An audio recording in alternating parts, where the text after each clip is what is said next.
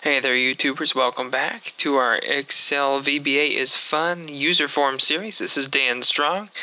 I'll be your host. Today we're going to continue uh, with our user form here. I believe we call it hide form. Uh, today we're going to make a little label here.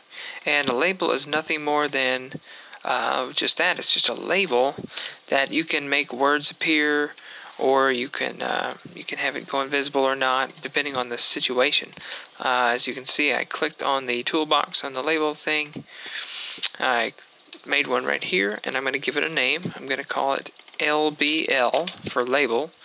Uh, we're going to we're going to generate this based on their employee ID number. Whether or not they're switched to employee ID first or last name first first and then the employee ID. We're going to capture it either way. We're going to call this LBL EMP ID, label employee ID. That way we can identify it later. So every time we switch this combo box, or really every time we load it, we want, um, well, well, I'll take it back again. Every time uh, a selection is made, so a click event probably would be fine, or a change event on this box. We want it to capture the uh, employee ID only right here in this label so that we can use it for other calculations. Let's go ahead and do that. Double click on your uh, combo box here, which already has, uh, it's ready to go with a change event.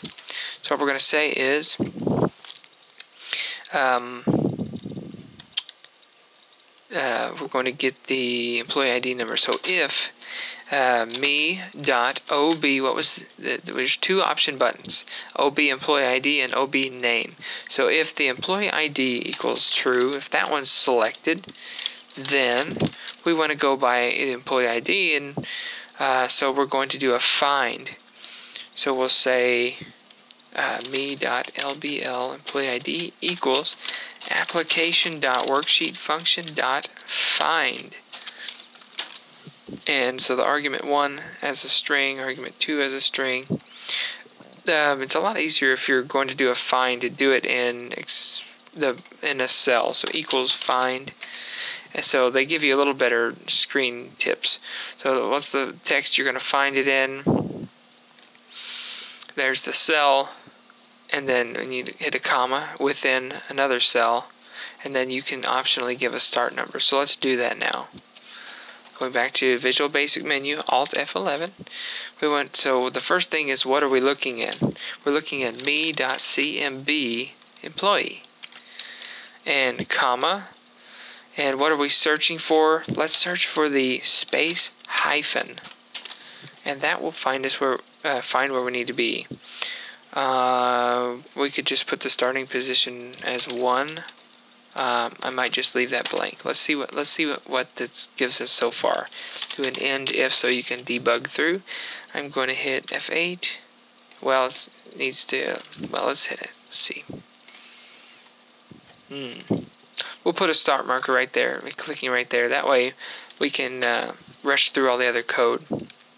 Let's click here guy or fake guy 16 030942. I'm to click there and uh, labels empty so far, but we're looking for the space hyphen in dot .cmb employee. It looks like it'd be 1, 2, 3, 4, 5, 6, 7, 8, maybe 8th position. Let's uh, let's click this F8. Alright, they didn't like that. Let's put a comma 1 maybe starting on the first position. Okay, well, something I'm doing wrong here. Let's see. Searching for a space comma. Hmm. Uh, okay, I think we need to switch these. We're supposed to do the find text within the other text. So we're supposed to find this within this. Um, so let's take this optional if thing here and I'm going to hit F8 see where it left us. Okay, so that was position number 7. Um, and obviously in this there's 030942 and then a space. That would put you at this, this 7th position. And I think we're wanting to capture the leftmost portion of this up to the sixth character. So we'll take that minus 1, so it'll be 6. Um, and in fact, we don't want to label, let's see, we're going to take left of me.cmb employee. And I put a comma there because this is how many characters we need to go to the left. 7 minus 1, so 6. That should give you your actual label. So hit F8. Uh, there, okay, that's the employee ID number. Now, that's only if they have it sorted by employee ID. Otherwise, um, the label is going to be a little bit more complicated, I guess.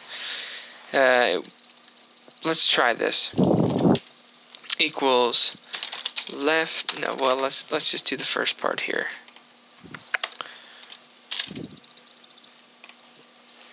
Well, okay. There's a there's a tricky way, and that seems like I'm trying to do that. Um, and then there's an easy way. We know that every employee ID number in our particular database uh, is exactly six digits long. So I'm just going to cheat for now, um, and just going to say we're going to go to the left of me.cmb employee, comma. Well, we can leave that there, but then this part is going to be left of me.cmb employee, comma, and it's always going to be 6. And pardon me, I meant the rightmost 6 characters, not the leftmost, if it's sorted by the name. So see how that how that works here. I'm going to uh, reload this form and I'm going to click on Let's click on Dwayne Shelley. And I'm going to hit F5. Okay, so there's our label right there, and it looks just look like regular text. Oh, three, four, three, four, eight.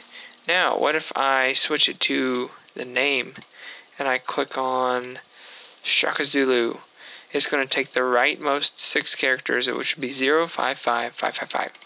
And there's my label. So I'm going to hit up and down now if I switch it to employee ID, I'm going to take that marker off here, just let it do its thing.